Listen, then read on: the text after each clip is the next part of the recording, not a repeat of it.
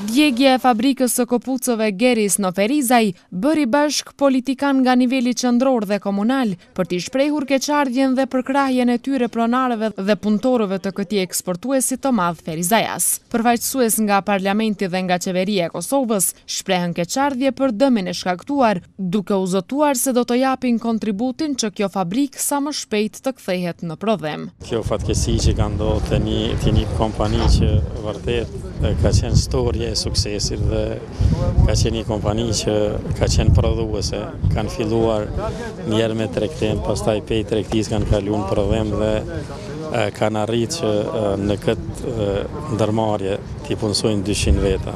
Mbi dyqind veta dhe dyqind veta kanë jetu prej kësaj pune dhe prej angazhimit që e kanë pas ata njëkohësisht kanë qenë njerëz që kanë punu, kanë paguar tatimet, kanë hapë rrugë për gjithë ata të cilët kanë qenë vërtet interesuar të jenë aktiv dhe të jenë të angazhuar në punë.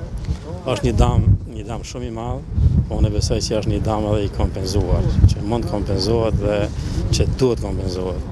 Duhet të llogarisin në institucionet tona, duhet të llogarisin mbështetjen përveç sigurimit cilin e kanë dhe duhet domosdo që kjo ndërmarrje, kjo kompani, kjo fabrikë të rimëkëmbet sa më shpejt. Është një tragjedi e madhe, po mendoj qoftë për biznesin familjar, po qoftë edhe për ekonominë e e Ferizajit, sepse një numër i madh i punëtorëve kanë humbë ose mbesin pa punë. Po shpresoj që sa më shpejt kthehen. Por ato që çka po them është se ne jemi ardhur këtu me pa gjendjen prej dorës parë, se si është gjendja të rëndë, jam i prekur me shkatërrimet që ka ndodhë, por sidoqoftë, u morëm vesh edhe me kryetarin, po edhe me pronarë që të koordinohemi sa ma shumë të shqyrtojmë se cilat janë mundësitë ligjore që edhe qeveria të, të ndihmojë. Domethënë nuk ka të bëjë vetëm me një investim të tanishëm ka të bëjë edhe me qindra familje të cilat realisht duan të kthehen në punë edhe edhe mbes ose mbesin pa punë me këtë me këtë tragjedi që ka ndodhur. Fabrikën e djegur tërësisht e vizituan edhe përfaqësues të komunës dhe të subjekteve politike, të cilët po ashtu u solidarizuan me pronarët e fabrikës, duke vlerësuar se kjo ngjarje është goditje e rëndë për ekonominë e Ferizajit. Ne ishëm bashkë me ministrin sot këtu për të treguar solidaritetin tonë njerëzor, politik dhe moral si dhe qeverisës me të gjithë afaristët që kanë pësuar nga kjo fatkeqësi dhe me premtimin që do të bëjmë maksimumin e mundshëm që të punojmë bashkë për riparimin e të gjitha pasojave që ka shkaktu zjarri. Tani fatkeqësia i takon të kaluarës, por pasojat që ka lënë janë për një dhimbje të përgjithshme qytetare, jo vetëm për ata që i kanë humb, që i kanë humb vendet e tyre të punës, Me ç'sigurisht që kanë siguruar bukën këto më tepër se 1500 banorë nga një numër prej më tepër se 200 punëtorësh.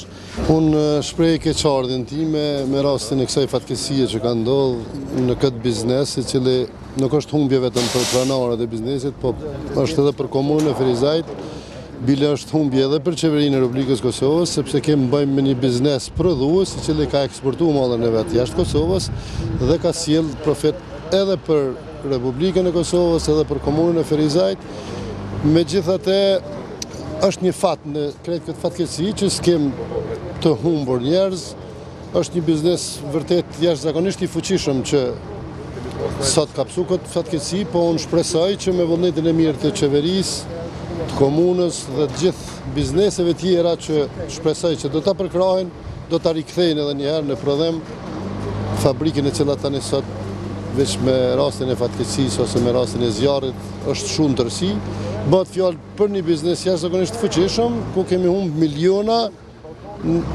Nga fatkeqësia kanë humb pronarët, por kemi humb edhe si komunë sepse qindra të punësuar kanë mbet pa punë. Shpresoj që ta rikthejmë përsëri.